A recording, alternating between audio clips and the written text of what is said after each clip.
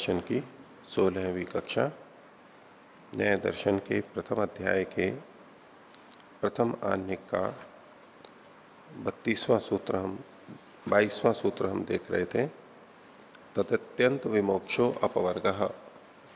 दुख की अत्यंत निवृत्ति ये अपवर्ग कहलाता है और इसमें भाष्य में जो कुछ उस समय मान्यताएँ रही होंगी वो पूर्व पक्ष की तरफ़ से उठा करके उसका समाधान करने का प्रयास किया गया। उसका कुछ विषय और आगे हम आज देखेंगे। पिछले पाठ में से किन्हीं को कुछ पूछना है तो पूछ सकते हैं। पृष्ठ संख्या इकसठ पर। हम्म। अंतिम अनुच्छेद भाष्य का। हम्म। आत्म मन संयोग से निमित्तांतर सहित हेतुत्व यहाँ चर्चा चल रही थी कि मुक्ति में आत्मा का जो सुख है, वो नित्य है अथवा अनित्य है, अथवा उसका जो ज्ञान है, वह नित्य है या अनित्य है।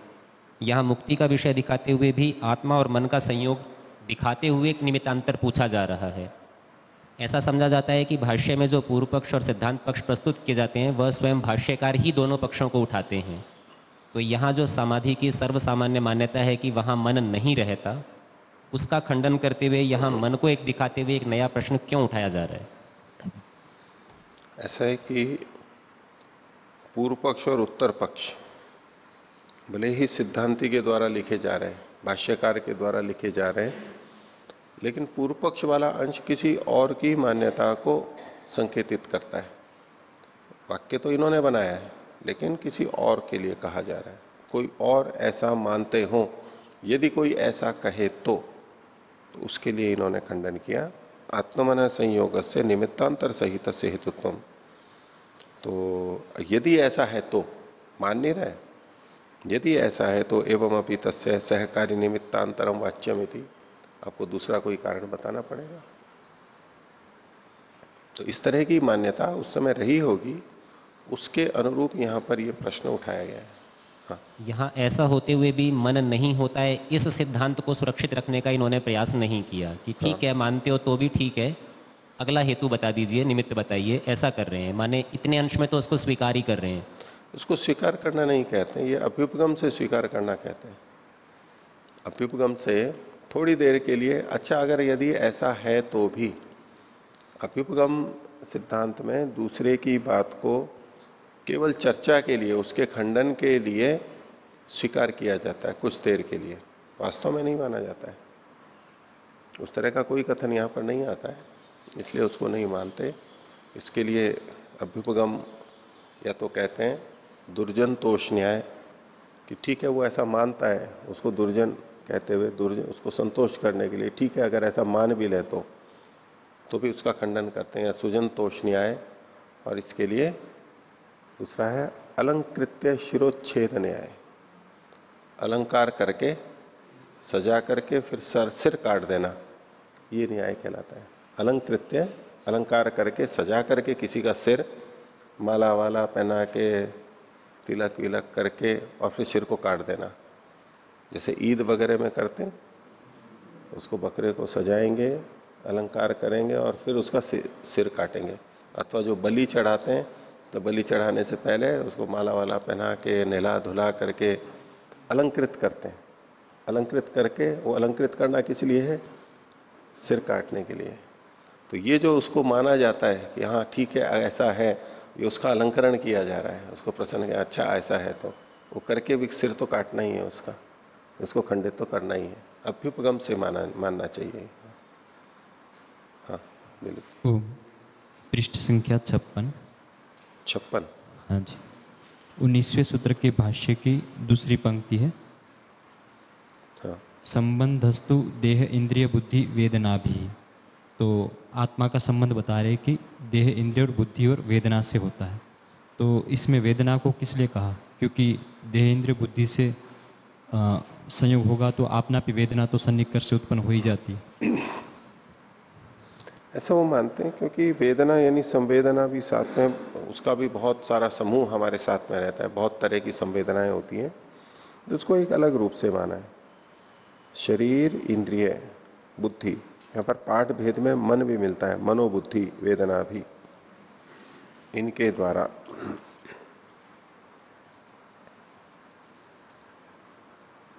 आत्मा का किन से संबंध होता है? देहेंद्रिय मनोबुद्धि वेदना भी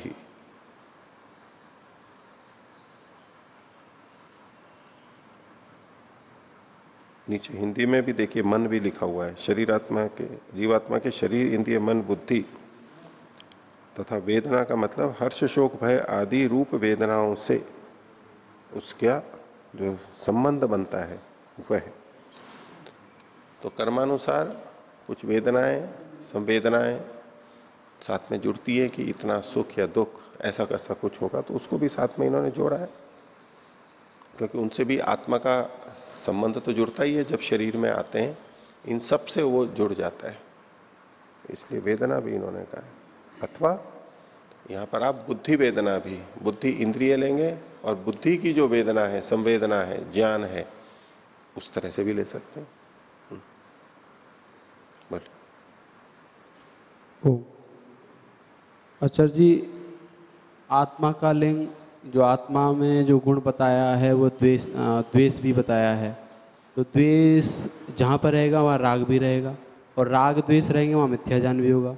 तो मिथ्याजान होगा तो वहाँ पवर की प्राप्ति नहीं होगी। और ये जो द्वेष है वो अ, ऐसा नहीं है कि केवल अभी भी ये, ये परमानेंट इसका गुण है। तो है? ये द्वेष? सदा के लिए सदा रहता है जीवात्मा के अंदर। हाँ तो जीवात्मा के अंदर अगर सदा ये रहता है तो द्वेष रहेगा तो ये मिथ्या जान है मिथ्या जान है तो पौर की प्राप्ति कैसे हो सकती है? हाँ। इसमें और तो सब ठीक है। बीच में जो आपने कहा कि राग और द्वेष है तो मिथ्या ज्ञान भी है। ऐसा आवश्यक नहीं है। राग और द्वेष जो मूलभूत है जिसको हम इच्छा और अनिच्छा के नाम से बोलते हैं। इच्छा और अनिच्छा के नाम से। ये आत्मा का स्वाभाविक धर्म है। लेकिन जब वो इच्छा और अनिच्छा, परिस्थिति, ज्ञान के अनुसार अलग अलग होती है, वो यदि मिथ्या ज्ञान से युक्त हो जाती है तो वो इच्छा, वही इच्छा राग, हानिकारक और बंधन का देने वाला होता है। और यदि वो इच्छा ज्ञान से, विद्या, शुद्ध ज्ञान से युक्त होती है तो मुक्ति को देने वाली होती है। जैसे कि संसार या संसार के पदार्थों को लक्ष्य मान करके जब भोगा जाता है, तब ये मिथ्या ज्ञान से युक्त है। क्यों मिथ्या ज्ञान से युक्त है? क्योंकि वो इसको इस तरह भोग रहा है जैसे इससे मेरे को पूर्ण तृप्ति हो जाएगी, पूर्ण लक्ष्य की प्राप्ति हो जाएगी। ये उसका मिथ्या ज्ञान है, जबकि वहाँ पर पूर्ण तृप्ति होती नहीं है। लेकिन यदि वो परमात्मा के सुख, आनंद की प्राप्ति के लिए उसकी इच्छा करके योगाभ्यास कर रहा है और ईश्वर की प्राप्ति कर रहा है। तो ये जो इच्छा है, ये जो उसके प्रति राग है, वो शुद्ध ज्ञान से युक्त है। वो मुक्ति में बाधक नहीं होगा। मुक्ति प्राप्ति के लिए मुक्ति की इच्छा तो आवश्यक है। यदि मुक्ति की इच्छा ही नहीं होगी तो कोई करेगा कैसे? कामना ही नहीं है तो कोई प्रयत्न कैसे करेगा? अकामस्य क्रिया काचित दृश्यते, नेह करहिचित यद्यद्धि कुरुते किंचित तत्त काम से चेष्टितम। तो जो कामना से रहित होता है, उसकी तो कोई क्रिया ही नहीं होती है। क्रिया ही नहीं करेगा फिर तो। मुक्ति प्राप्ति का जितना भी प्रयास है, साधना है, तपस्या है, योगाभ्यास, वो कुछ भी नहीं करेगा, अगर इच्छा नहीं हुई तो। इसलिए इच्छा या राग, वो नहीं होगी। हाँ सामान्यतः जो कथन लोक में प्रचलित है, राग और द्वेष मिथ्या ज्ञान से युक्त होते हैं, वो बंधन का कारण है, जैसा यहाँ पर भी लिखा है। लेकिन यदि आप तत्वतः देखेंगे तो आत्मा की जो अंदर से सुख को पाने की इच्छा है, वो स्वाभाविक है, वो कभी हटेगी नहीं। और दुख से हटने की इच्छा है, वो स्वाभाविक है, वो हटेगी नहीं, और इसमें कोई मिथ्या ज्ञान नहीं है। ठीक है? होता ही है, दुख से हटना चाहता है, और सुख को पाना चाहता है। लेकिन जब गलत तरीके से सुख चाहता है और गलत तरीके से दुख को हटाना चाहता है, वहाँ मिथ्या ज्ञान है तो ये वो वाला राग द्वेष होता है जो क्लेशों में आने वाला राग द्वेष होता है। अब इत्यादि पाँच क्लेश तो क्लेशों वाला जो राग द्वेष है, वो तो बंधन का कारण है, और जो क्लेश से रहित शुद्ध इच्छा, अनिच्छा, प्रीति, अप्रीति या राग और द्वेष शब्द भी बोल दें तो वो मुक्ति में बाधक नहीं होता, वो सहायक होता है। वो हमेशा रहेगा। इसलिए ये नहीं कहना चाहिए कि राग और द्वेष है तो मिथ्या ज्ञान भी अवश्य है। सब जगह नहीं होता है। वो शुद्ध ज्ञान की स्थिति में भी राग और द्वेष होता है। वो बाधक नहीं होता है।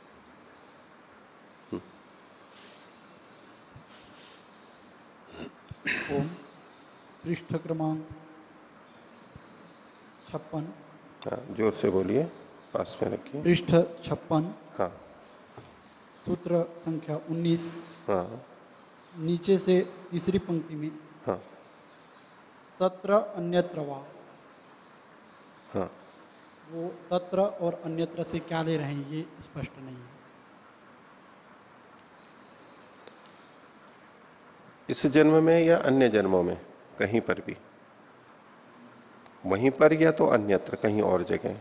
जैसे इन्होंने कहा पहले कि यत्र क्वचित प्राणभृत निकाय वर्तमान है पूर्वोपातान देहान जहाती तत्प्रति। और यत जो तत्र अन्यत्र वा, उसी लोक में या तो अन्यत्र लोक में, देहादीना, देहादीन अन्यान उपादत्ते, देहादि को प्राप्त करता है। तो तत्र अन्यत्र, तत्र मतलब वहीं जहाँ पर वो अभी पिछले जन्म में था। पिछला देह से जो संपर्क जहाँ था, वहीं पर ही, अथवा कहीं और भी, किसी भी स्थान पर। कुछ। ओम। आचार्य जी जो पीछे आया था आप्तोपदेश शब्द। हम्म, आप तो को जो परिभाषा कर रखा था यथा दृष्टस्य अर्थस्य शिक्षा परिचय प्रयुक्त उपदेष्टा। जैसे देखा वैसे बोलने की इच्छा करना। अर्थात जो डाकू भी जैसे देखा वैसे बोल देना उसको भी आप तो कह सकते हैं। उस उस विषय में। उस उस विषय में। हाँ। पूरा आप्त नहीं। पूरा आप्त नहीं। जिस विषय को वो जानता है, जिस विषय का उसने साक्षात किया है और उसको यदि वो कहता है तो उस विषय में वो आप्त है। उस उस विषय में। जी। लेकिन यहाँ पर महर्षि दयानंद आर्य उद्देश्य रत्नमाला में परिभाषा की है आप देखें जो छल आदि दोष रहित धर्मात्मा, विद्वान, सत्योपदेष्टा सब प्रकार कृपा दृष्टि से वर्तमान होकर, अविद्या अंधकार का नाश करके, अज्ञानी लोगों का आत्माओं में विद्या रूप सूर्य का प्रकाश सदा करे, उसको आप तो कहते हैं। तो यहाँ पर धर्मात्मा, विद्वान इत्यादि शब्द आए हैं, जो धर्मात्मा हो। अगर अधर्मात्मा होगा तो जैसा जाना है वैसा नहीं कहेगा, कुछ और बोल देगा। अपने स्वार्थ के लिए कुछ बोल देगा। तो जिस समय कोई भी व्यक्ति न्याय दर्शन के साथ जो आपको इसका विरोध लग रहा है, वहाँ जो आप्त की परिभाषा की गई है, वो जो बहुत ऊँचे स्तर पे जो पूर्ण आप्त है, उसकी बात है। जो पूर्ण आप्त है, उसके लिए कथन किया गया। लेकिन जब आप्तोपदेश या तो शब्द प्रमाण की बात की जा रही है, उस समय में थोड़े अंश में भी यदि कोई व्यक्ति ठीक बात को बोल रहा है तो उसको आप्त क्यों ना माना जाए उस विषय में? उसको भी माना जाएगा। थोड़े अंशों में उस उस अंशों में माना जाएगा। तो वो तो परिपूर्ण व्याख्या है। परिपूर्ण परिभाषा है कि जो बिल्कुल ईश्वर का साक्षात्कार किया हुआ है पूर्ण धर्मात्मा हो चुका है समस्त दोषों से दूर हो गया है सब चीज़ों का जिसको यथार्थ ज्ञान हो गया है ऐसा। अब ऐसा आप तो, तो जीवन मुक्त होगा या परमात्मा होगा? परमात्मा आप तय उसी का उपदेश आप तो कहलाता है। फिर जो ऋषि मुनियों का औरों का है, जिसके लिए महर्षि भी इस बात को महर्षि दयानंद भी स्वीकार करते हैं कि वो भी यदि वेद विरुद्ध हो तो वो अमान्य होता है। यानी वहाँ कहीं अज्ञानता से, आलस्य से, प्रमाद से कोई गलत बात कहीं भी जा सकती है, हो सकती है संभावनाएँ फिर भी उनको भी आप्त कहा जाता है। लेकिन जैसा वो जान रहे हैं, वैसा बोल रहे हैं, प्राय करके ठीक ही होता है। भूल चूक में कुछ चीज़ गलत हो सकती है। यहाँ जो परिभाषा है, इसमें चूँकि इन्होंने तीन कहा, ऋषि आर्य मिलिच्छानम समानम लक्षणम। आप जो परिभाषा दे रहे हो वहाँ पर, महर्षि दयानंद वाली, वो ऋषियों पे, उस स्तर के लोगों पे घटेगी।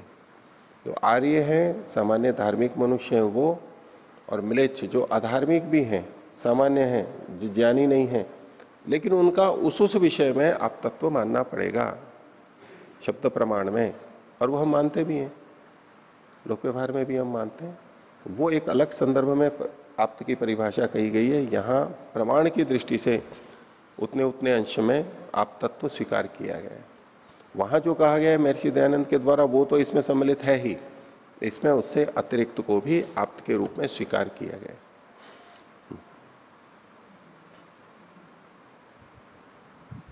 बोलिए। ओम। संख्या एक, एक पृष्ठ संख्या इकसठ। इकसठ दूसरा अनुच्छेद। हाँ। यद इदम उत्पत्ति स्थानेषु धर्म अधर्म फलम सुखम दुखम व संवेद्यते प्रियायेण तो यहाँ पर ये यद उत्पत्ति स्थानु क्या कहना चाह रहे हैं पृष्ठ संख्या इकसठ। पृष्ठ संख्या इकसठ। हाँ प्रारंभ से हाँ जी दूसरा अनुच्छेद। अभ्यनुज्ञाने च। ये जो कह रहे हैं ना इसका अर्थ आपको चाहिए। ऊपर जो इन्होंने बात कही थी पिछले वाले में ये जो सुख का संवेदन है वो भी यदि नित्य हो यानी सुख और सुख का संवेदन ये दोनों यदि नित्य हो तो। नित्य होने का क्या मतलब है?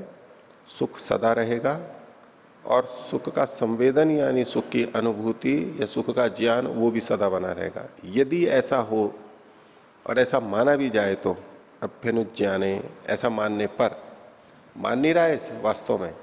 अगर ऐसा माने तो ये भी अभ्युपगम से कथन है, ऐसा माने तो धर्माधर्म फलेन साहचर्यम, साहचर्य को आगे बोला योग पद्यम गृह्येत। अगर ऐसा हो तो क्या होना चाहिए?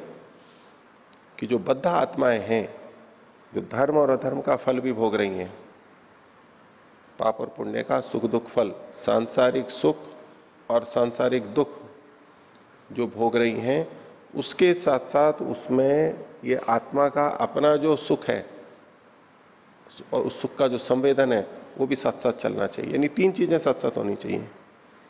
आत्मा का सुख जो उसका अपना है, उसकी अनुभूति लगातार बनी रहेगी, और साथ में पाप और पुण्य का फल जो सुख दुख है, वो भी साथ साथ होना चाहिए। वो साथ साथ मिलना चाहिए।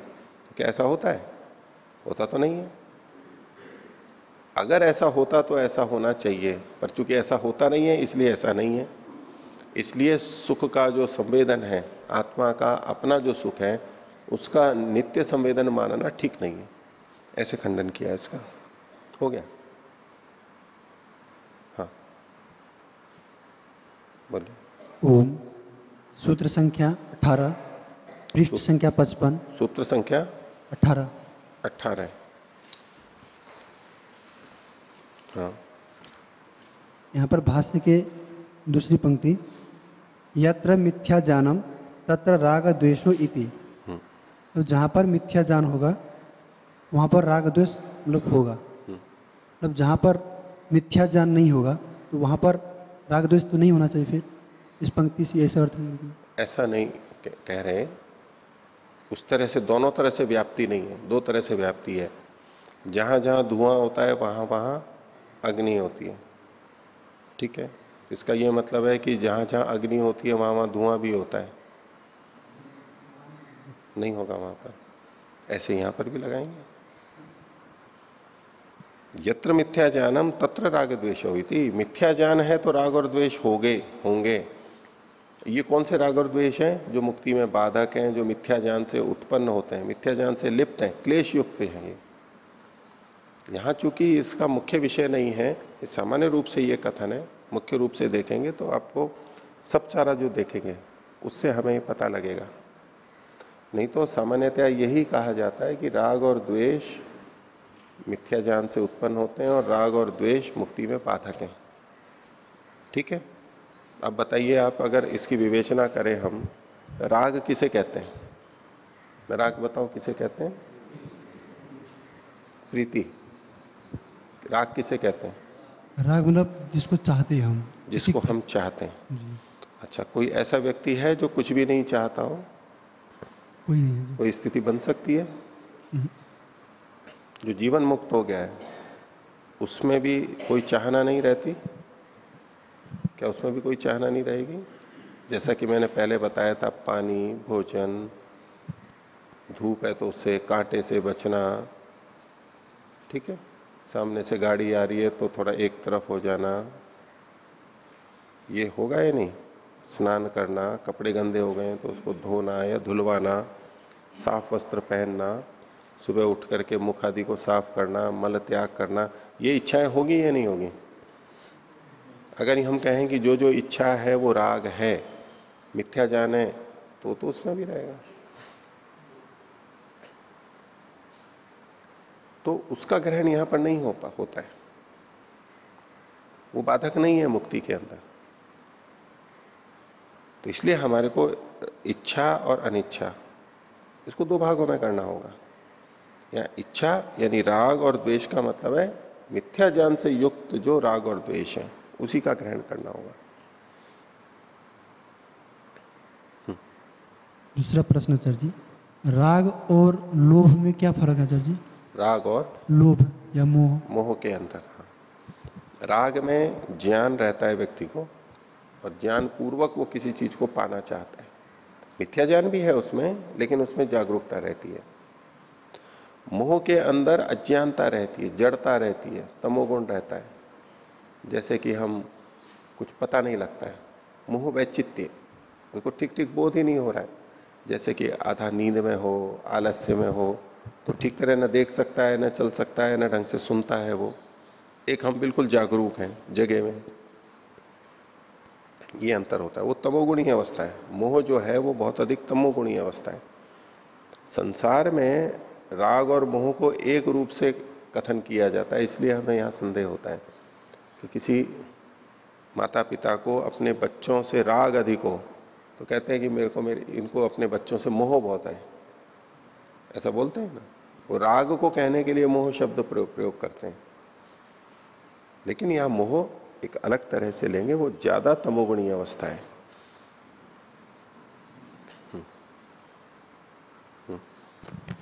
ओ आचार्य पृष्ठ क्रमांक सत्तावन पर। हाँ।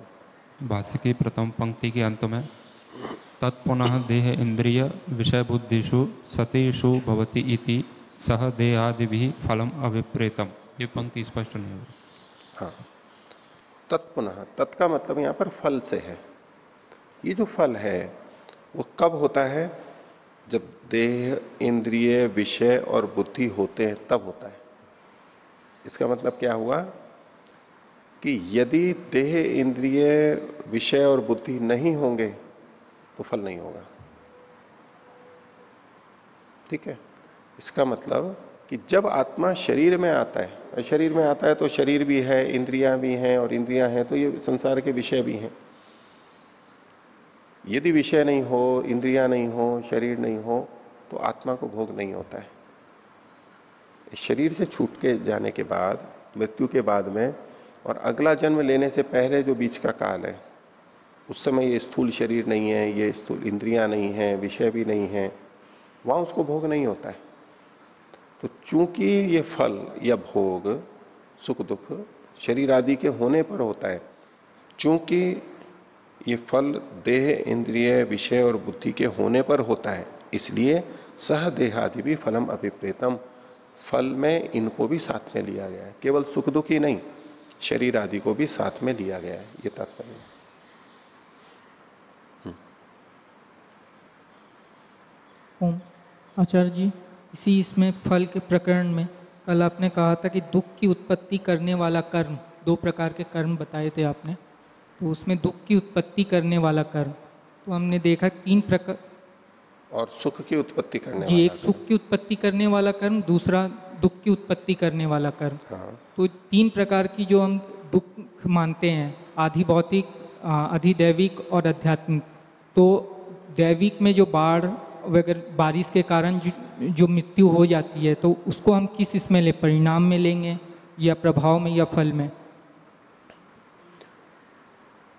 उसको अंततोगत्वा तो हमारे कर्म से वो जोड़ेगा न्याय की दृष्टि से। लेकिन ये जो कर्म होते हैं जो सामूहिक होते हैं मेरे को ये समझ में आता है कि ये किसी व्यक्ति विशेष के या कुछ के पाप कर्म के कारण से ऐसा हुआ, ये नहीं है। प्रकृति की कुछ अवस्थाएँ हैं, व्यवस्थाएँ हैं, वहाँ कुछ होने पे सामूहिक हलचल होती है और उससे एक सामूहिक स्थिति बनती है और वहाँ उसके निकट जो होता है वो उससे पीड़ित हो जाता है। उसको ऐसा नहीं कि समझना चाहिए कि जो वहाँ पर गए, उनके कर्मों का फल मिलना था, इसलिए वो वहाँ पर गए। यात्रा में गए, वहीं पहुँचे। उस दिन वहीं रहे, जिस दिन बाढ़ आई या भूकंप आया, सुनामी आई, ऐसा नहीं है वो। ऐसा प्रकृतितः होता है और संयोग से वहाँ जो भी होंगे, वो उससे पीड़ित हो जाएँगे। उनको दुख होगा। दुख तो है वो, लेकिन वो उनके किसी निश्चित कर्म के कारण से वहाँ पर फल हुआ है ऐसा नहीं समझना चाहिए। पर उसका न्याय भी वहाँ पर होगा। कि जो पीड़ित हो गए, जो पीड़ित हो गए, अब उनका न्याय परमात्मा इस रूप में कर सकता है, जो कि पहली वरीयता है, संभावना के रूप में, कि पाप कर्म तो रहते ही हैं तो ये फल भोग लिया है, ऐसा मान करके उतने कम कर दिए जाएँगे उसके कर्माशय में से। और ये बात प्राकृतिक जो विपदाएँ हैं, उसी में नहीं, अन्य मनुष्यों के द्वारा भी अन्य प्राणियों के द्वारा भी जो हमारे को दुख दे दिया जाता है, अन्यायपूर्वक, वहाँ भी लागू होगी। उसने तो हमें अन्यायपूर्वक दिया है। उसको पता भी नहीं है कि मैं किस कर्म का फल दे रहा हूँ। वो फल देने वाला ही नहीं है वास्तव में तो। उसने तो अपने स्वार्थ के वशीभूत होकर के, या अज्ञानता से हमारे साथ ऐसा व्यवहार किया कि हमें दुख हुआ, बाधा हुई, पीड़ा हुई। अब जो हमारे को ये भुगतना पड़ा तो ईश्वर उसको भी दंड देगा और हमारी क्षतिपूर्ति करेगा। यदि हमारा पाप कर्माशय है, जो कि पूरी संभावना है कि होता ही है काफ़ी सारा तो हमारा उतना पाप कर्माशय भोगा हुआ मान करके कम कर दिया जाएगा। तो हमारे साथ न्याय हो गया। जिस कर्माशय को हम भविष्य में कभी भोगते ईश्वरीय व्यवस्था से, वो ऐसे हमारे से भोगा गया तो उतना कर्माशय हमारा कम हो जाएगा। हमारे साथ न्याय हुआ। यदि कोई ऐसा व्यक्ति है जिसके पास ऐसा पाप कर्माशय था ही नहीं जितना कि उसको फल, दुख मिल गया यहाँ पर तो उसका दूसरा उपाय ये हो सकता है कि उसकी क्षतिपूर्ति की जाए, जो उसकी हानि हुई है, उस हानि की पूर्ति की जाए। उस दुख से, उस बाधा से जो वो उसमें पिछड़ा है वो, प्रगति का अवसर उसका छीना है, उसकी भरपाई परमात्मा कर देगा, इस तरह भी न्याय कर सकता है उसका। एक प्रश्न और है, जन्म से मृत्यु पर्यंत हम प्रवृत्ति और दोष में लिप्त रहते हैं तो हमें कैसे पता चलेगा कि ये जो दुख है, ये हमारा, दुख मिला है या सुख मिला है, ये हमें फल के द्वारा मिला है या फिर परिणाम के द्वारा या प्रभाव के द्वारा? जब हमारे को परिणाम और प्रभाव दिखाई नहीं दे रहे हैं, जहाँ किसी दूसरे का हस्तक्षेप हमारे को दिखाई नहीं दे रहा है, दूसरा व्यक्ति यदि हमें मार रहा है तो ये तो हमारे को परिणाम मिल रहा है, कर्म तो वो कर रहा है उसका फल उसको मिलेगा, हमारे को परिणाम आ रहा है या प्रभाव आ रहा है। तो जहाँ हमें कोई दूसरा दिखाई ही नहीं देता, अन्य निरपेक्ष जब हमारे को मिल रहा होता है तो हम कह सकते हैं कि ये हमारा पिछले कर्म का है, फल और परमात्मा के द्वारा दिया गया है।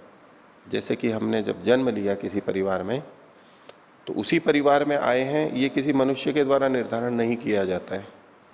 हमारा मनुष्य का किसी का हस्तक्षेप नहीं है। मनुष्य शरीर मिला या पशु शरीर मिला और मनुष्य में भी किस परिवार में मिला, इत्यादि। इसमें किसी का हस्तक्षेप नहीं है तो इसको हम निश्चित रूप से कह सकते हैं कि ये हमारे पिछले कर्म के कारण से और बाकी में जो हमारे को सुख दुख मिलता रहता है, वो इतना मिश्रित है कि हम सीधे सीधे उसका निर्धारण नहीं कर सकते। बहुत कठिन होता है वो। अधिकांश में हमारे को परिस्थितियों के अनुसार होता रहता है और हम भी अपनी वर्तमान की अविद्या के कारण से अधिक सुखी दुखी होते रहते हैं, कम सुखी दुखी होते रहते हैं। वर्तमान के कर्म से भी हम अपने आप सुखी दुखी होते रहते हैं। खुद भी हम पीड़ित होते रहते हैं, अपने आप से। वो दूसरा नहीं करता, वो तो हमने असावधानी की असावधानी से हमने अपना उंगली कटवा ली चाकू से सब्ज़ी काटते हुए। अब ये हमारे किसी पूर्व जन्म के कर्म का फल नहीं है। ये हमने अभी असावधानी की और हमारी उंगली कट गई। इसका परिणाम आया है। अब इससे न तो कोई हमारा कर्माशय बना, न कोई कर्माशय कम होगा। कि हमने दुख भोगा है तो हमारा कर्माशय कम हो जाएगा। नहीं, इसका कारण तो हम खुद ही हैं। हाँ लेकिन दूसरा व्यक्ति यदि चक्कू चला करके हमारी उंगली को काट दे, अब ये दूसरे के द्वारा किया गया अन्याय है, जिससे कि हम पीड़ित हुए हैं तो उसका न्याय परमात्मा करेगा। या तो उतने अंश का पाप कर्माशय हमारा कम हो जाएगा, आगे नहीं भोगना पड़ेगा। और नहीं तो उसकी पूर्ति के रूप में अन्य सुविधा अन्य साधन परमात्मा की तरफ़ से उपलब्ध कराए जाएँगे। आचार्य जी आपने बताया कि हम मतलब परमात्मा की नियम से ही किसी का जन्म होता है कहीं पर। हाँ। हमारा उसमें कोई हाथ नहीं होता। हाँ। अगर किसी बच्चे का जन्म हो रहा है और उसने गलत ढंग से पैसे कमाए तो उसमें उस बच्चे का कर्म हुआ या उसके माता पिता का कर्म? माता पिता ने गलत ढंग से पैसे कमा रखे हैं। जी जी। हाँ। वो तो माता पिता का ही मिले तो वो अपने कर्मों से मिल रहे हैं या माता पिता के कर्म देखिए उसमें माता पिता ने उस समय भी गलत कमा सकते हैं बाद में भी कमा सकते हैं। माता पिता ने गलत ढंग से पैसा कमाया है इसका पाप माता पिता को लगेगा। बच्चे को कोई पाप नहीं लगेगा उसमें। लेकिन वो बच्चा जिस परिवार में आया है वहाँ वो ऐसा ही माहौल देखेगा। ऐसे छल कपट किया जाता है ऐसे धन कमाया जाता है। अब उसको संस्कार अच्छे नहीं मिलेंगे परिस्थिति अच्छी नहीं मिलेगी और वो उस तरफ़ प्रवृत्त अधिक हो जाएगा। उसके गलत बनने की संभावना अधिक हो जाएगी। तो ये उसको वो परिस्थिति ऐसे व्यक्तियों के बीच में जन्म मिलना जो कि गलत हैं अज्ञानी हैं ये उसके कर्मों के कारण से है। हाँ उस परिवार में ऐसी जगह पे जन्म लेना वो उसके कर्मों के कारण से है। माता पिता कितने संस्कारवान हैं, कितने ज्ञानी हैं, कितने धार्मिक हैं, अधार्मिक हैं तो जिसके कर्म ठीक नहीं होते वो विपरीत स्थिति में जन्म लेगा। उसको अच्छी स्थिति नहीं मिलेगी। किसी भी तरह से अलग अलग तरीके की विपरीत स्थितियाँ हो सकती हैं, वो उसको नहीं मिलेगी। वो कर्म के कारण से ही है उसके। पर वो वहाँ से बच भी सकता है, इतनी स्वतंत्रता फिर भी है उसकी। वो अपना विवेक पैदा करे तो माता पिता भले ही बीड़ी सिगरेट पीते हैं, बच्चा नहीं पिए। उछल कपट करते हैं माता पिता शराब पीते हैं, मांस खाते हैं, बच्चा नहीं भी कर सकता है। ये अब उसके कर्म की स्वतंत्रता है। इसका ये मतलब नहीं है कि उसको भुगतना ही पड़ेगा वो। अब अपने वर्तमान पुरुषार्थ से चला जाएगा वो, बच जाएगा उससे। लेकिन उसके गलत होने की संभावना वहाँ पर अधिक है। ऐसी परिस्थिति में जन्म मिला है उसको। हाँ। किसी पशु आदि के द्वारा जब कोई मारा जाता है, उसकी वजह से मनुष्य कष्ट होता है तो ये क्या पूर्व जन्म का होता है कुछ?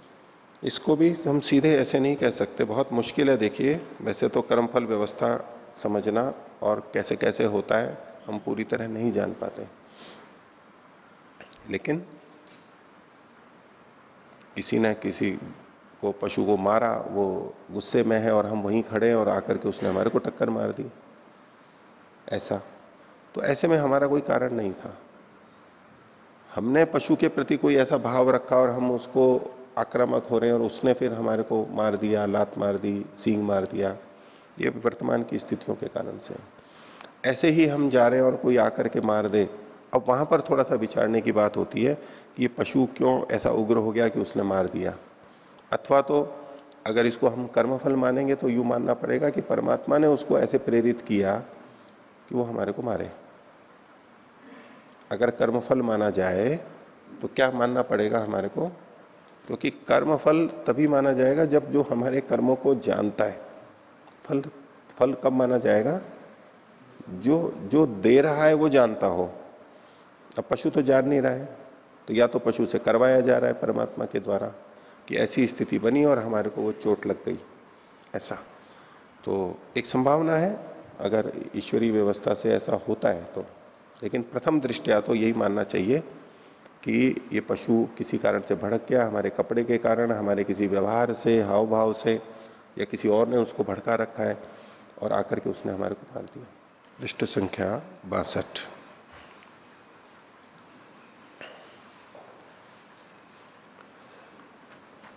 सूत्र बाईस चल रहा था, तदत्यंत विमोक्षो अपवर्ग। दुख की अत्यंत मुक्ति, दुख से अत्यंत छुटकारा इसे अपवर्ग कहते हैं। और उसमें फिर जो इन्होंने प्रश्न चला दिया था कि आत्मा का अपना ही सुख वहाँ पर प्रकट होता है, ऐसा कुछ लोग मानते हैं वो ठीक है या नहीं है तो सिद्धांति उसका खंडन करता चला आ रहा है। अंत में जो बात थी, कि सुख तो आत्मा का नित्य है, ऐसा मान, ऐसा पूर्व पक्षी ने रखा था उसको मान के, कहा कि भाई उसको प्रकट होने का कारण क्या है? अगर कोई कहे कि आत्मा और मन का सन्निकर्ष, संयोग विशेष से वो प्रकट हो रहा है तो सिद्धांति ने पूछा था, यदि ऐसा है तो ये बताइए कि आत्मा और मन का जो ये संयोग विशेष आप कह रहे हो, वो क्यों उत्पन्न हो गया वहाँ पर?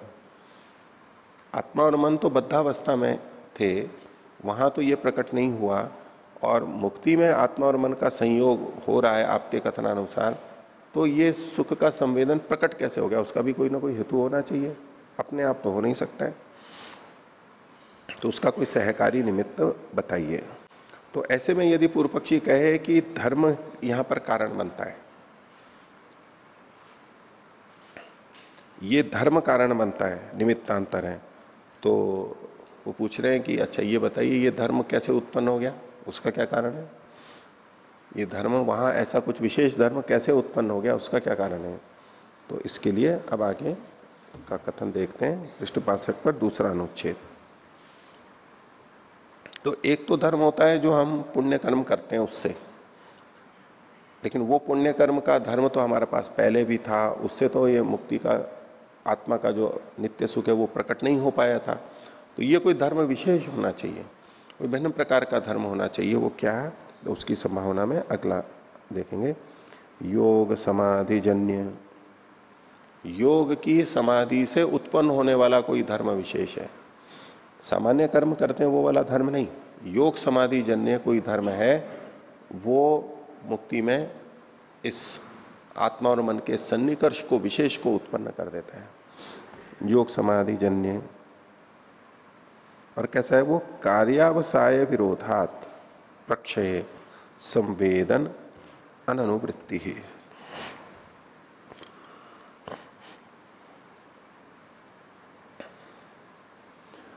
तो कार्यावसाय का मतलब है प्रलय। कार्य का अवसाय, अवसान जहाँ पर हो जाता है, कार्यावसाय। कार्य का मतलब है जो उत्पन्न वस्तुएँ हैं। कार्य का मतलब है उत्पन्न वस्तुएँ और उसका अवसान, जहाँ पर कार्यों का अवसान हो जाता है, वो प्रलय।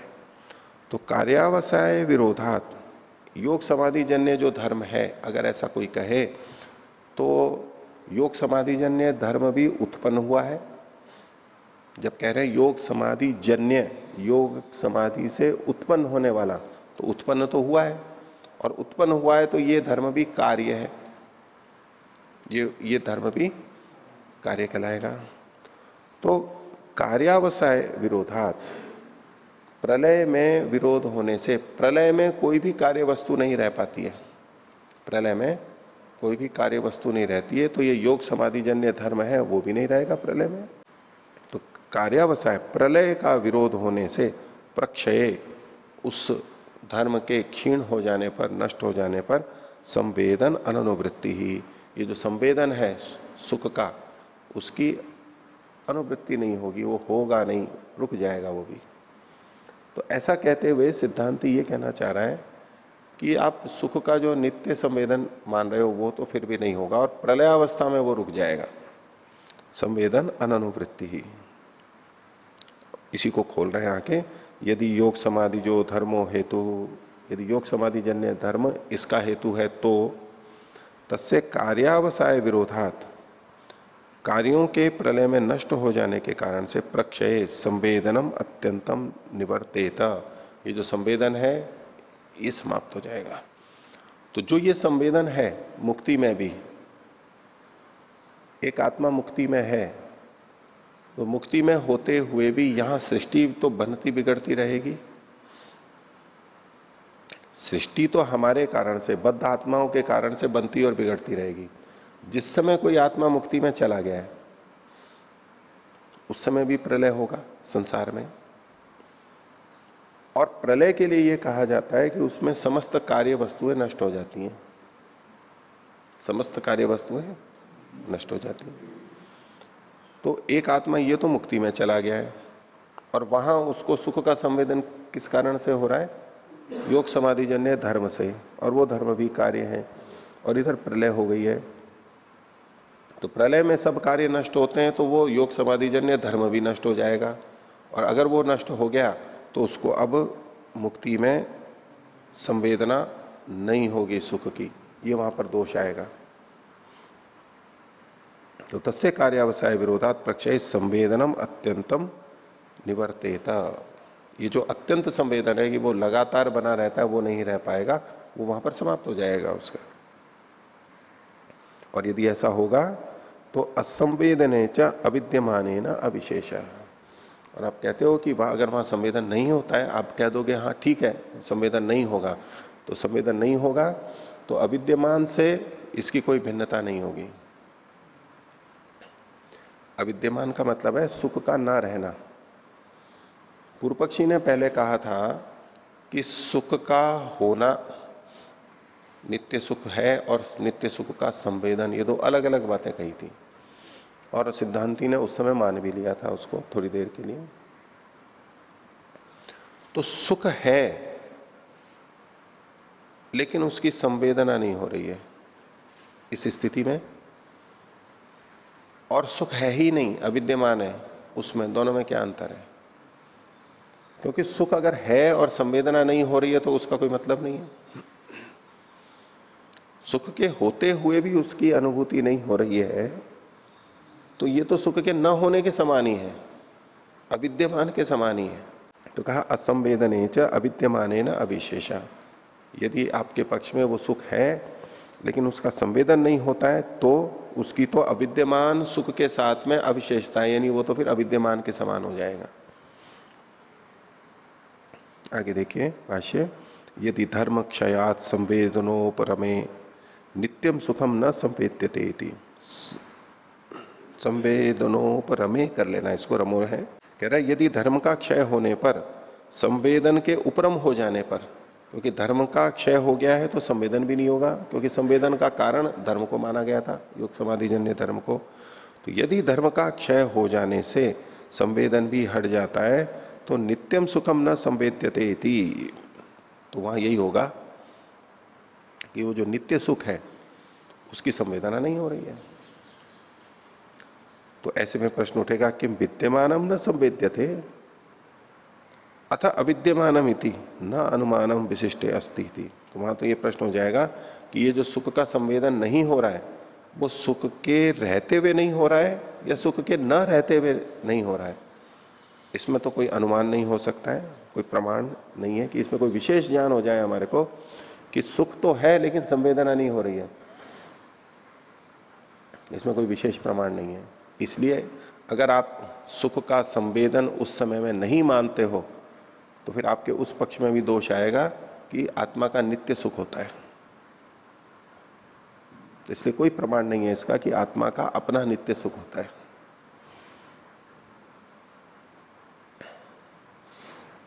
और अगर कोई ये कहे पूर्व पक्षी कि धर्म क्षय ही नहीं होगा, धर्म का क्षय नहीं होगा क्योंकि ये दोष आ रहे हैं। धर्म का क्षय मानेंगे तो ये दोष आ रहे हैं। तो पूर्व पक्षी ये कहे कि धर्म का क्षय ही नहीं होगा। तो उसके लिए कहने अप्रक्षय धर्म से धर्म का क्षय न होना है, ये निरनुमान इसमें कोई अनुमान प्रमाण नहीं है। अनुमान से रहित है। क्यों? उत्पत्ति धर्म धर्मकत्वाद क्योंकि उसकी उत्पत्ति हुई है। आप स्वयं स्वीकार कर रहे हो कि योग समाधि जन्य है। तो योग समाधि जन्य है तो उसका क्षय तो होगा, कभी ना कभी तो उसका क्षय होगा तो क्षय की प्राप्ति तो उसके साथ जुड़ी हुई ही है।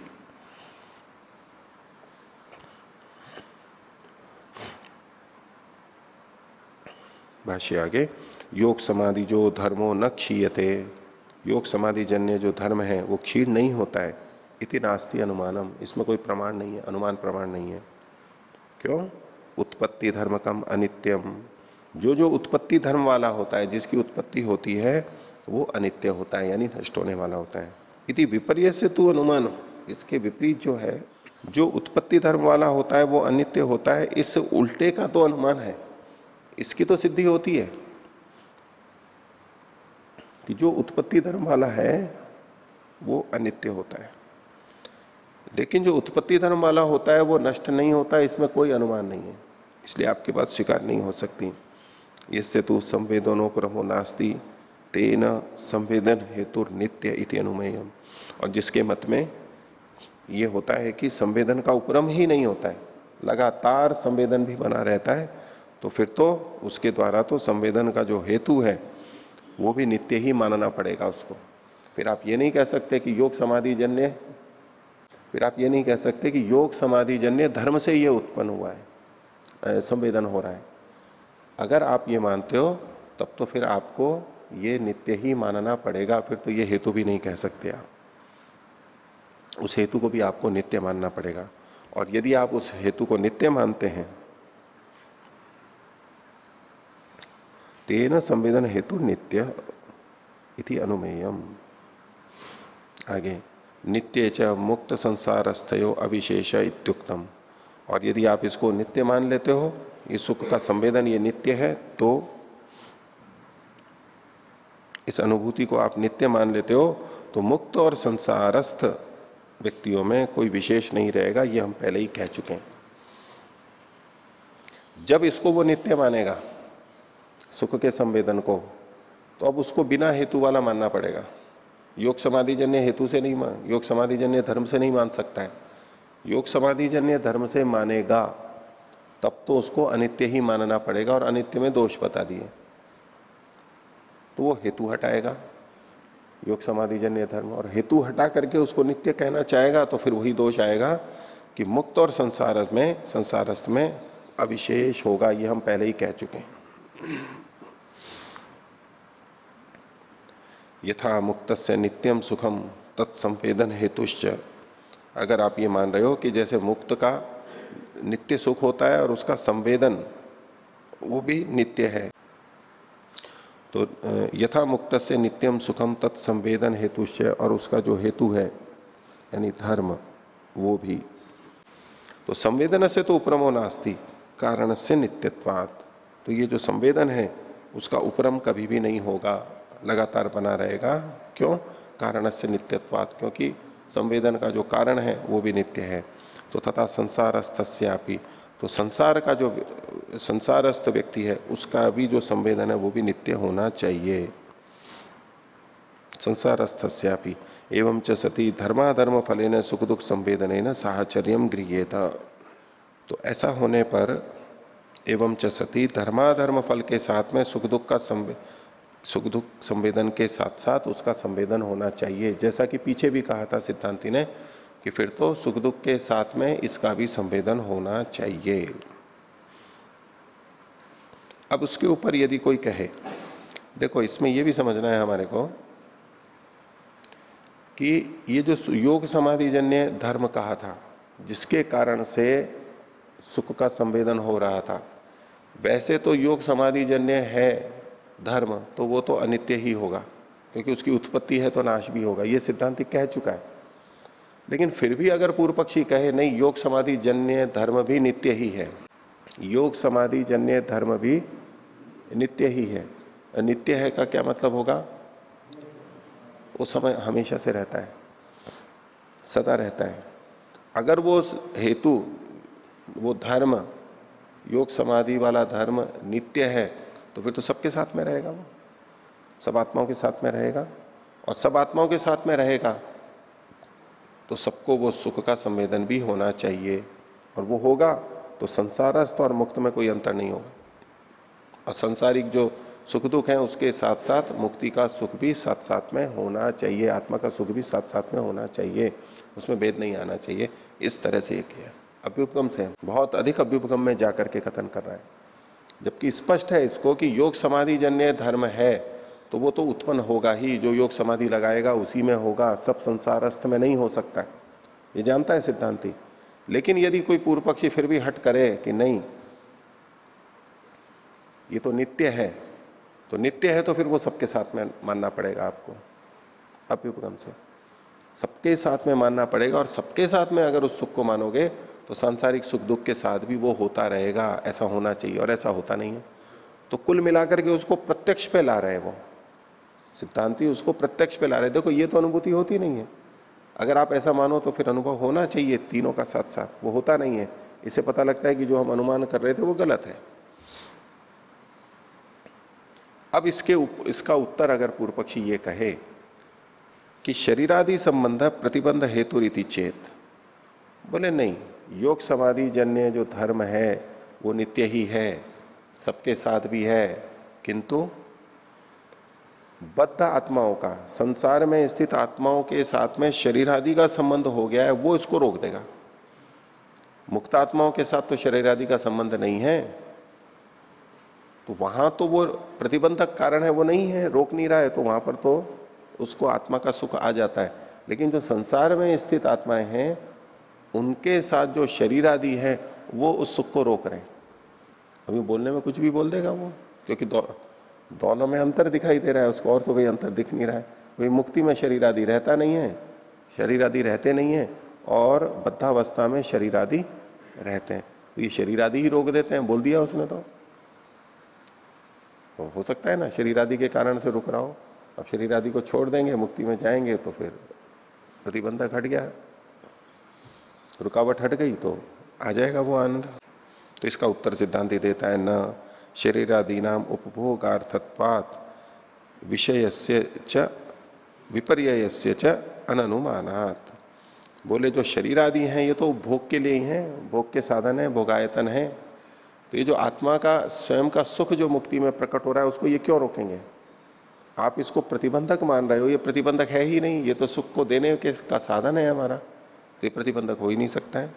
तो शरीर आदि नाम उपभोगार्थत्वात विपर्य से अनुमात इसके विपरीत अनुमान नहीं होता कि ये हमारे सुख आदि को रोकता है। ये तो सुख आदि को देता है, साधन है हमारा। ये तो वार्तिक हुआ, इसी को खोल रहे हैं आगे श्यान मतम। ऐसा किसी का मत हो सकता है, कोई मान सकता है कि संसारस्थ से शरीर आदि संबंधों नित्य सुख संवेदन हेतु तो प्रतिबंधका। कि संसार में स्थित लोगों का, जो शरीर आदि के साथ में संबंध हुआ है वह नित्य सुख के संवेदन का जो हेतु है कारण, यानी वो धर्म, उसका प्रतिबंधक हो जाता है। तेन अविशेषो नास्ती थी इससे अविशेष नहीं है, यानी सामान्य नहीं है, यानी विशेष है। क्या है? तेन अविशेषो नास्ती। दो नकार आ गए ना? अविशेष में एक नकार है अ, और नास्ती में न है। दो नकार आते हैं तो सकार में, सकारात्मक में बदल जाते हैं तो इसको यूँ समझ सकते हैं। इसलिए विशेष है। अविशेष नहीं है, यानी विशेष है। सिद्धांति ने यह कहा था कि यदि ये नित्य सुख है का संवेदन है, धर्म भी नित्य है तो फिर तो सबको समान होने लगेगा, मुक्तस्थ और संसारस्थ। समान होने लगेगा। तो कह रहा है कि नहीं, समान नहीं है। विशेष है। वहाँ सुख होगा, यहाँ सुख नहीं होगा। शरीर आदि उसको रोक देंगे। ये तच्च अयुक्तम। सिद्धांति कह रहा है, ये बात युक्ति संगत नहीं है। क्यों? शरीरादय उपभोगार्थ। ते उपभोग प्रतिबंधम करिष्यंती इति अनुपन्नम तो शरीर आदि तो भोग के लिए ही हैं, भोग को देने वाले होते हैं तो भोग में सहायक होते हैं। ये भोग को रोक देंगे, इसमें कोई अनुमान नहीं है, ये बात सिद्ध ही नहीं है। न च अस्ति अनुमानम अशीर अशरीर से आत्मनो भोग कश्चित अस्थि और इसमें भी कोई अनुमान नहीं है कि अशरीर आत्मा के का कोई भोग कहीं होता है। क्या कह रहा है? न च अस्थि अनुमान हम बोले, ये भी अनुमान नहीं है। विपरीत ढंग से कह रहा है सिद्धांति। पहली बात तो ये कही कि ये जो शरीर है, ये सुख को उपभोग में बाधा खड़ी करेगा, ये आप सिद्ध नहीं कर पा रहे हैं, ये सिद्ध नहीं होगा। और दूसरा कि जब शरीर नहीं है, तब कोई आत्मा का भोग होता है, इसमें भी कोई प्रमाण नहीं है। अतः जब जब भोग होगा, तब तब शरीर के साथ ही होगा। तो क्या न च अस्थि अनुमानम अशरीर से आत्मना। शरीर रहित आत्मा का भोग कश्चित अस्थिति शरीर आत्मा का कोई भोग है, इसमें भी कोई अनुमान नहीं है। अर्थात जब जब भोग होगा तो शरीर से ही होगा। अर्थात शरीर भोग का साधन है, भोग में सहायक है, वो भोग को, सुख को प्रतिबंधित नहीं कर सकता। आप जो इसको प्रतिबंध का कारण बता रहे हो, वो उसको नहीं रोक सकता। अगर यूँ कहें कि इष्ट अधिगमार्था प्रवृत्ति रीति चेत। इष्ट का मतलब यहाँ पर सुख। सुख ही हमें इष्ट होता है, उसी की हम चाहना करते हैं। तो इष्ट के अधिगम के लिए, यानी सुख की प्राप्ति के लिए हमारी प्रवृत्ति होती है, न अनिष्टोपरमार्थत्वात।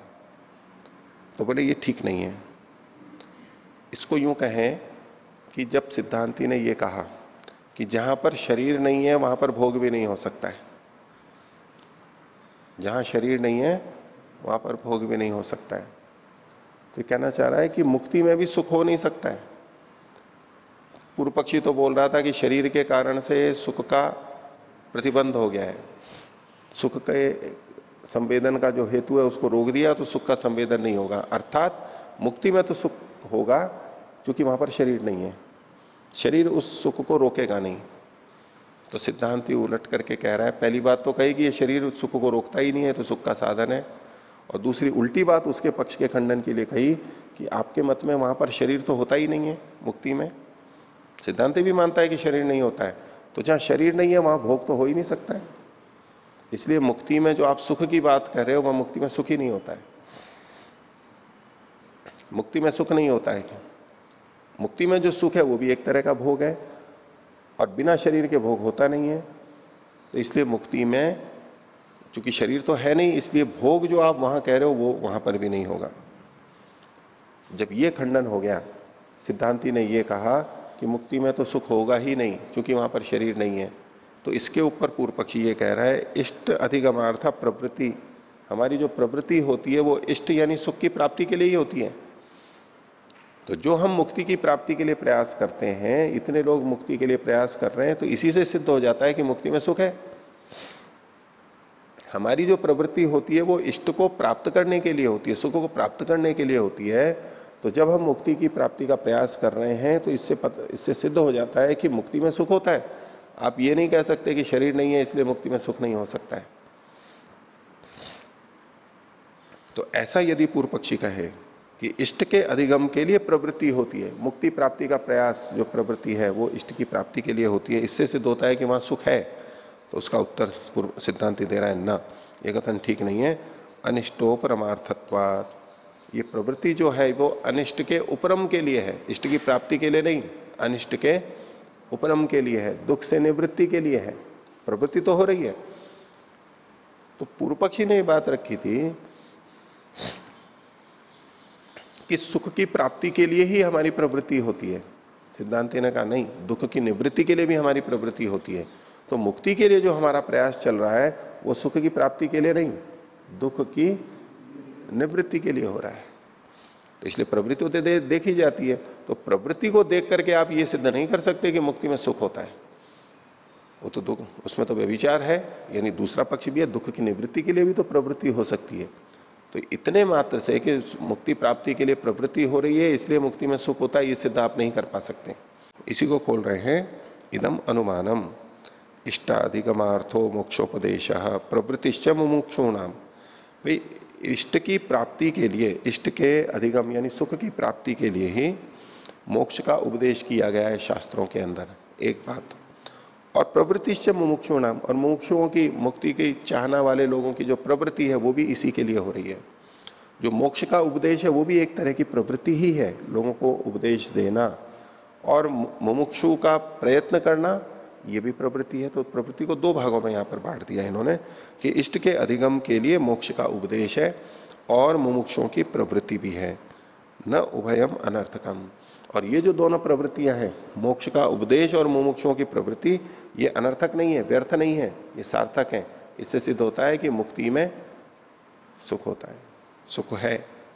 तो न उभयम अनर्थकम इति। ऐसा यदि पूर्व पक्षी कहे तो सिद्धांत कह रहा है ए अयुक्तम। ये आपका कथन ठीक नहीं है?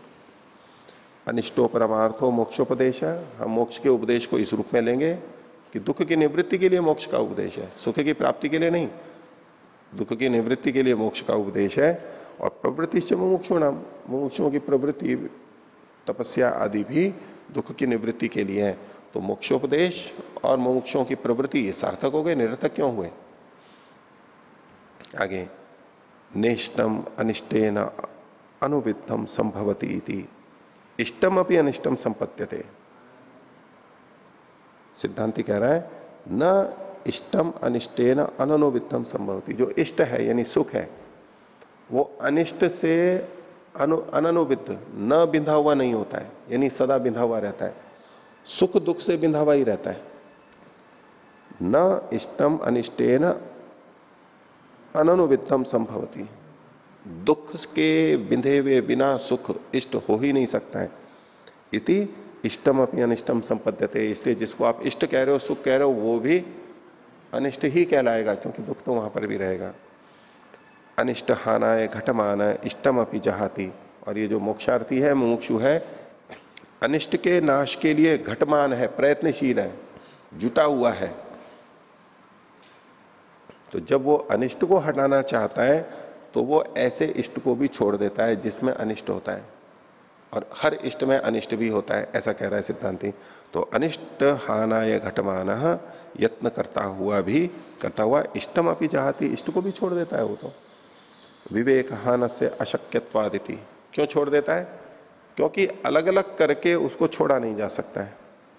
अलग अलग करके छोड़ने का मतलब है कि सुख में जो दुख मिश्रित है तो क्या है कि मैं इसका विवेक कर लूँगा, पृथक पृथक कर लूँगा, कि दुख को तो हटा दूँगा और सुख सुख को ले लूँगा। ऐसा हो नहीं सकता है। जैसे गेहूँ में कंकर आदि हो, दोनों मिले हुए हैं तो गेहूँ के साथ कंकर तो आएँगे ही। लेकिन वहाँ कंकर अलग किए जा सकते हैं और गेहूँ अलग किया जा सकता है तो वो तो किए, कर लेगा कोई। लेकिन ये जो सुख के साथ में दुख मिश्रित है, इसको तो अलग किया ही नहीं जा सकता है। विवेक हानस्य अशक्य तो अलग करके हटाने का असंभव होने से उसको पूरे को छोड़ देते हैं।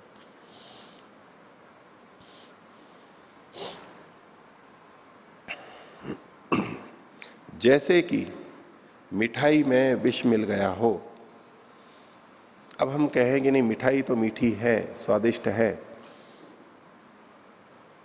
अब मैं इसको विष को निकाल करके मिठाई को खाऊँगा। और विष तो उसमें मिला हुआ है। अब उसको हटा ही नहीं सकते। दूध के साथ पकाते हुए ही विष मिला दिया गया है। अब वो मावा बन गया है। वो तो रोए रोए में हर जगह पे विद्यमान है। हटा ही नहीं सकते। तो हम क्या करते हैं? एक कंकर और गेहूँ की तरह तो है नहीं कि अलग अलग कर दो। अलग अलग होता तो करके ले लेते, छांट लेते। तो क्या उपाय बचता है? उस मिठाई को ही फेंक देते। तो ऐसे कि विवेक हान से अशक्यत्वाद अलग अलग करके उसको हटाया नहीं जा सकता, इसलिए वो इष्ट को भी अनिष्ट से युक्त देखते हुए छोड़ देता है। आगे। दृष्टातिक्रमश्च देहादिशु तुल्य। और अगर आप यूँ कहो कि दृष्ट का अतिक्रम हो जाता है वहाँ पर, अगर आप ये कहो, पूर्व पक्षी की तरफ़ से है कि भाई मुक्ति में तो दृष्ट का अतिक्रम हो जाता है। जो चीज़ें यहाँ दिखाई देती है, वो मुक्ति में थोड़ा ना होती है। यहाँ संसार में सुख है, वो दुख से मिश्रित है, मुक्ति में जो सुख है, वो तो दुख से रहित भी हो जाएगा।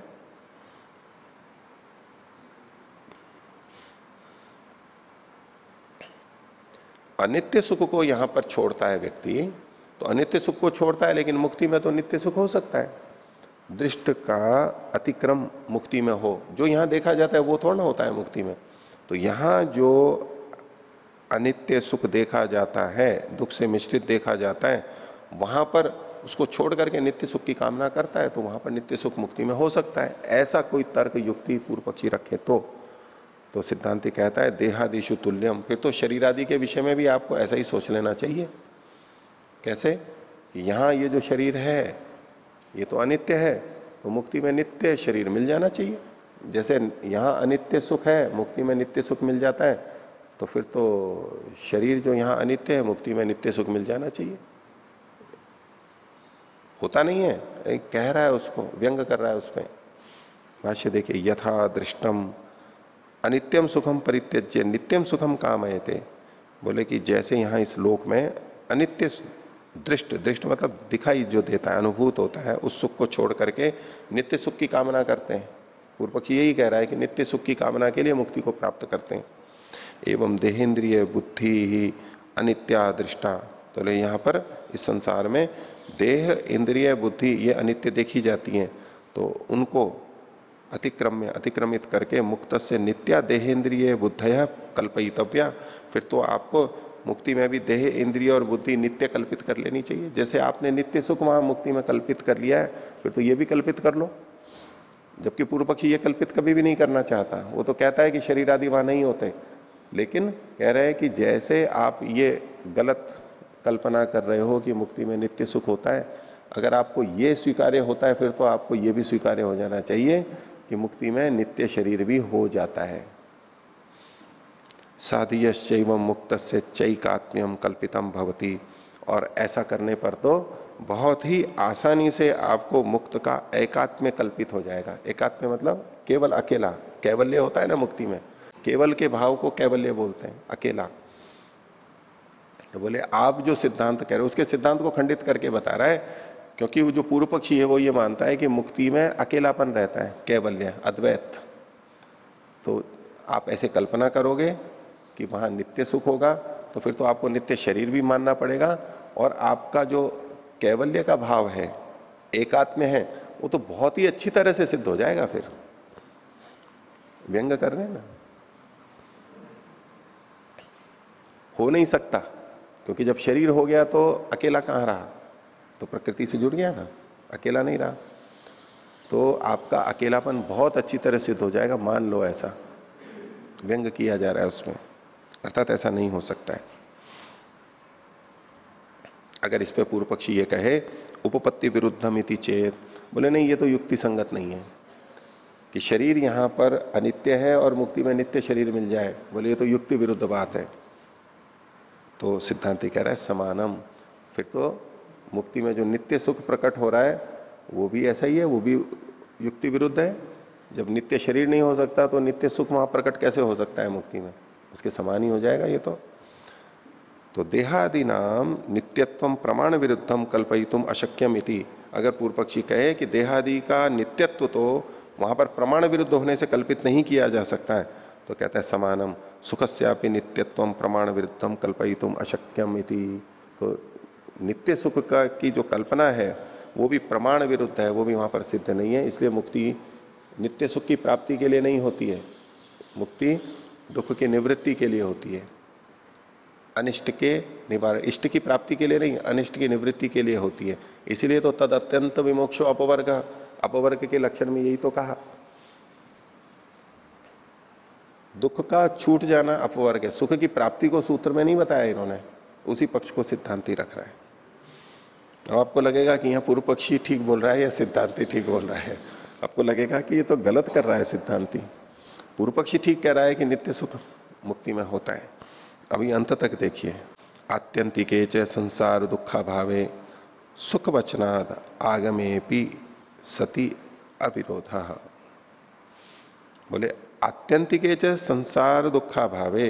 अगर हम ये मानते हैं, ये कह रहा है सिद्धांति, यदि आप ये कहो, क्योंकि सुख की प्राप्ति का भी कथन मिल जाता है शास्त्रों में तो बोले संसार दुखा भावे, आत्यंतिक संसार दुखा भावे, जहाँ सांसारिक दुखों का पूर्ण नाश हो जाता है, उसमें भी सुख वचनात् सुख का कथन होने से, आगम में, शास्त्रों में उसको भी सुख के नाम से कह दिया जाता है। है तो दुख की अत्यंत निवृत्ति, लेकिन उसको भी सुख की प्राप्ति के रूप में कथन कर दिया जाता है। वास्तव में सुख नहीं है। दुख की निवृत्ति ही सुख के रूप में कथन कर दी जाती है। सुख वचनात् आगमे भी सती अविरोध। ऐसा मान लो तो भी कोई विरोध नहीं है कि ऐसे वचन मिल जाते। कह रहे हैं, यद्यपि कश्चित आगम हस्यात मुक्त से आत्यंतिकम सुखम हो सकता है कोई ऐसा वचन मिल जाए शास्त्र का, जहाँ पर मुक्ति में मुक्ति में आत्यंतिक सुख हो, बहुत पूर्ण सुख, नित्य सुख हो, ऐसा कोई वचन मिल भी जाए तो सुख शब्द से आत्यंतिक दुखा भावे प्रयुक्ते, प्रयुक्त दुखा भावे प्रयुक्त इतम उपपद्यते। तो ऐसे में ये मानना पड़ेगा कि ये जो सुख शब्द है, ये आत्यंतिक दुख के भाव, अभाव में प्रयुक्त किया गया है। अर्थात यहाँ पर जो सुख का कथन है, वो दुख की अत्यंत निवृत्ति के अर्थ में किया गया है। वास्तव में सुख की प्राप्ति नहीं है। तो सुख शब्द दुखा भावे प्रयुक्त इतम उपपद्यते। यही सिद्ध होता है। दृष्टो ही दुखा भावे सुख शब्द प्रयोगो बहुलम लोक इति। बोले संसार में दुख के अभाव में सुख शब्द का प्रयोग बहुत देखा जाता है। ऐसे मुक्ति के लिए भी कर दिया मुक्ति में सुख की प्राप्ति है तो वास्तव में सुख की प्राप्ति नहीं है, दुख की निवृत्ति है। जब कभी फोड़ा हो जाता है, रोग हो जाता है तो कितना कष्ट होता है। और जब वो ठीक हो जाता है तो सुख लगता है ना? वो सुख आ गया, आराम हो गया। और जब फोड़ा नहीं हुआ था, तब जैसे थे, वैसे ही अभी भी है। लेकिन जब फोड़ा नहीं हुआ था, तब नहीं कह रहे थे कि कोई सुख है। लेकिन जब वो रोग चला जाता है, कष्ट चला जाता है वो बहुत शांति मिली, बहुत अच्छा लगा। तो दुख की निवृत्ति में भी हम सुख का कथन करते हैं। लोक में ऐसा बहुत देखा जाता है। सुख की निवृत्ति में, दुख की निवृत्ति में भी सुख शब्द का प्रयोग। ऐसे ही शास्त्रों में भी हो सकता है। इसलिए मुक्ति में सुख नहीं होता, दुख की निवृत्ति ही होती है। आगे। और कह रहा है सिद्धांति, नित्य सुख राग से अप्रहाणे मोक्षाधिगम अभावो, अल्प विराम। बोले, अगर ये नित्य सुख के राग का नाश नहीं होगा तो मोक्ष के अधिगम का भी अभाव हो जाएगा। क्योंकि राग है। मोक्ष सुख की जो इच्छा है, वो राग है। और वो नष्ट नहीं हुई है, क्योंकि उसको आएगी मुक्ति में तो नित्य सुख प्राप्त होगा तो राग है। और राग है तो उसको मोक्ष की प्राप्ति कभी भी नहीं होगी। इसलिए ये मानना छोड़ दो कि मुक्ति में नित्य सुख होता है। क्योंकि उसको चाहना करेंगे तो राग है, और राग है तो वो मोक्ष की प्राप्ति नहीं हो सकती है। राग से बंधन समाज्ञाना क्योंकि राग है, वो बंधन कहा जाता है। राग है मतलब तो बंधन है। राग विराग और योग सृष्टि। राग और विराग का योग। राग और देश, इसका योग ही तो सृष्टि है। तो राग है तो संबंधन रहेगा, मुक्ति कभी भी नहीं होगी। इसलिए मुक्ति के सुख की कामना करेंगे तो भी बंधन ही होगा। इसलिए हो तो भी छोड़ दो, उसको ऐसा नहीं करना है। अभी ये तात्कालिक रूप से चर्चा चल रही है। अभी अंत में भी जाकर के देखेंगे।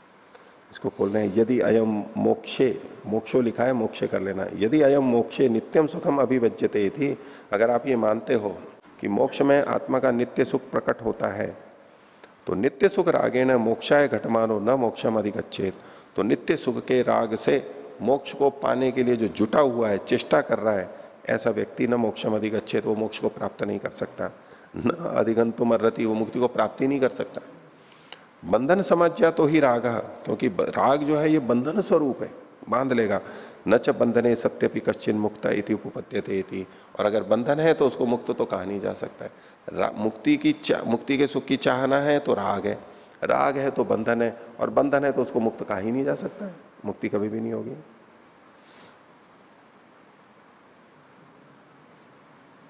तो इस पर पूर्व पक्षी कहता है, देखो, अच्छी बात कहता है। पूर्व पक्षी हमेशा उल्टा ही नहीं बोलता है अच्छा भी बोलता है। बोले प्रहाणे नित्य सुख राग से अप्रतिकूलत्व। कि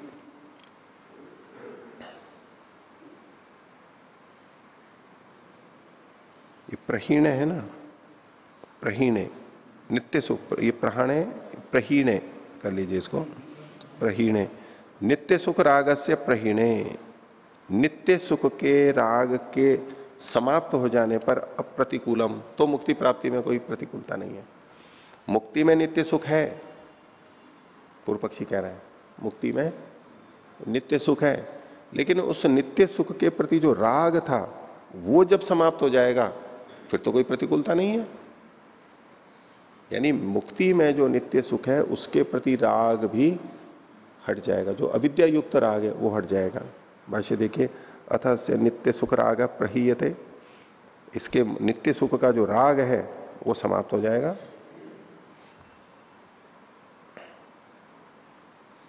तस्मिन प्रहीणे नास्य नित्य सुख राग प्रतिकूलो भवती, और जब ये राग क्षीण हो जाएगा तो ये जो नित्य सुख का राग है, ये उसके प्रतिकूल नहीं बनेगा।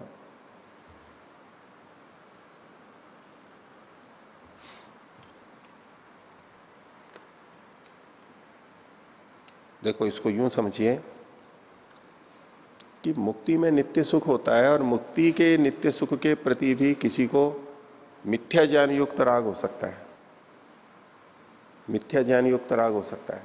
और उसको बहुत मन में आ गया है कि मुक्ति में नित्य सुख होता है, इतना बड़ा सुख होता है। तो जैसे सांसारिक व्यक्ति सांसारिक सुखों की प्राप्ति के लिए गलत उपायों को अपनाने लग जाता है। सांसारिक सुखों की प्राप्ति के लिए गलत उपायों को अपनाने लग जाता है। ऐसे ही मुक्ति के सुख को वो तो बहुत ही बड़ा हो गया, उसके लिए भी वो गलत उपायों को अपनाने लग सकता है। ऐसा व्यक्ति जब प्रयत्न तो मुक्ति के सुख के लिए ही कर रहा है, लेकिन गलत उपाय अपना रहा है, अब ये मुक्ति के सुख के प्रति मिथ्या ज्ञान युक्त राग से युक्त है। अविद्या युक्त राग से युक्त है। जैसे कि सामान्य अवस्था में देखिए कि कोई व्यक्ति उपासना में बैठा है, उपासना कर रहा है, अच्छी बात है, उपासना करनी चाहिए। अब ऐसे में यदि कोई अजनबी व्यक्ति आ गया, उसको पता नहीं है और आकर के उसने ज़ोर से खटखट कर दी तो खटखट कर दी तो उसने देखा, ये कौन व्यक्ति आ गया जो मेरी ईश्वर की उपासना में बाधा खड़ी कर रहा है? और उसको डांट दिया, गुस्सा कर लिया अब शब्द कह दिए उसको तो उसने उचित किया या अनुचित किया? भाई, गलत तो वो व्यक्ति था, उसने टोका। अब मुक्ति की प्राप्ति में अगर बाधा कोई खड़ी कर रहा है तो तो रोकना ही चाहिए ना। मुक्ति तो पानी ही। है लेकिन ये उपासना के प्रति जो राग है, ये मिथ्या ज्ञान से युक्त हो गया। ऐसे ही मुक्ति के प्रति भी राग मिथ्या ज्ञान से युक्त हो सकता है। उस तरह का व्यवहार करेगा। तो पूर्व पक्षी ये कह रहा है ये तो ठीक है कि अगर मुक्ति के सुख के प्रति उसका राग है, यानी मिथ्या ज्ञान से युक्त राग है, तब तो वो बंधन में रहेगा, मुक्ति को प्राप्त नहीं कर सकता। लेकिन ये जो मुक्ति के सुख के प्रति राग है, उसके समाप्त कर देने के बाद तो कोई बाधा नहीं है। यानी मुक्ति का सुख रहते हुए भी, मानते हुए भी, उसका राग यदि समाप्त कर दिया जाए, मिथ्या ज्ञान युक्त राग समाप्त कर दिया जाए तो फिर मुक्ति में कोई बाधा नहीं है। तो इसके लिए दो स्थितियाँ बनी मुक्ति के सुख को चाहने वाले दो प्रकार के हो सकते हैं, एक मिथ्या ज्ञान से युक्त होकर के और एक शुद्ध ज्ञान से युक्त होकर के। दोनों चाहने वाले हो सकते हैं। चाहना अपने आप में मिथ्या ज्ञान से युक्त हो यह आवश्यक नहीं है, दोनों हो सकते हैं। तो इसलिए इसने कहा था कि इसके नाश हो जाने पर, अथ अस्य नित्य सुख राग प्रहीयते, तस्मिन प्रहीणे नास्य नित्य सुख राग प्रतिकिलो भवती। ये नित्य सुख का राग उसके विपरीत नहीं पड़ेगा। अब इस पर सिद्धांति क्या कहता है? वैसे तो सिद्धांति पूर्व पक्षी का खंडन ही करता रहता है, लेकिन यहाँ जाकर के स्थिति ऐसी आ गई कि वो उसको स्वीकार कर रहा है। यम यदि ऐसा है तो। मुक्त से नित्यम सुखम भवती। मुक्त का नित्य सुख होता है, अथापि न भवती, अथवा कोई ये माने नहीं होता है। न से उभयोर पक्षयोर मोक्षाधिगमो विकल्पते थी इनमें दोनों ही पक्षों में मोक्ष का अधिगम विकल्पित नहीं होता।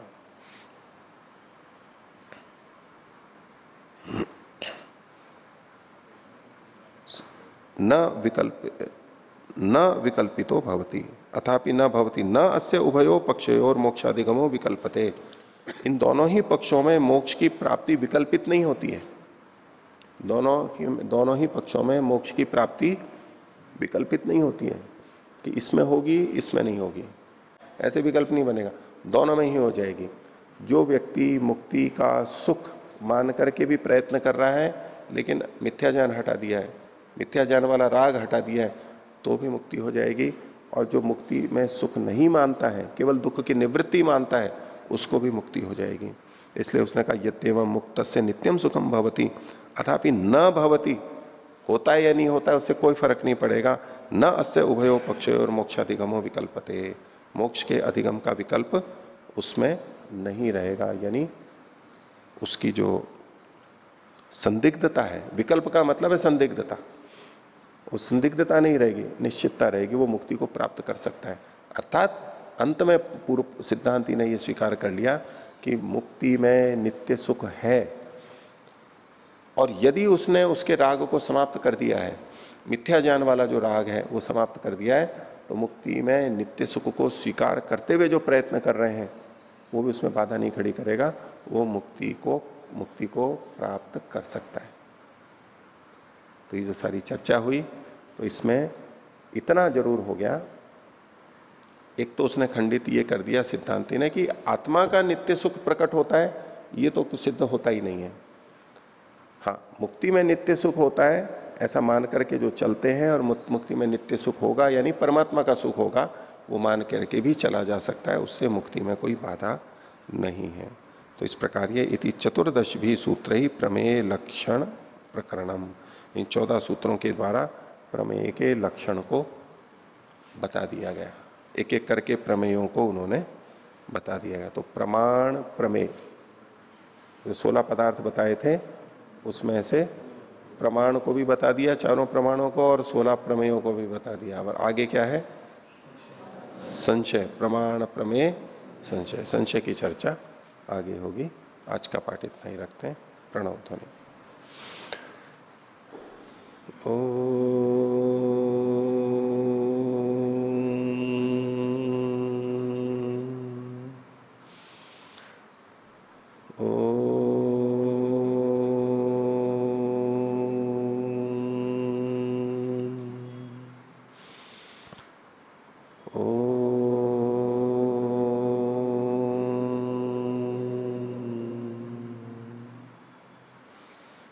सभी को सदर अभिवादन ओम।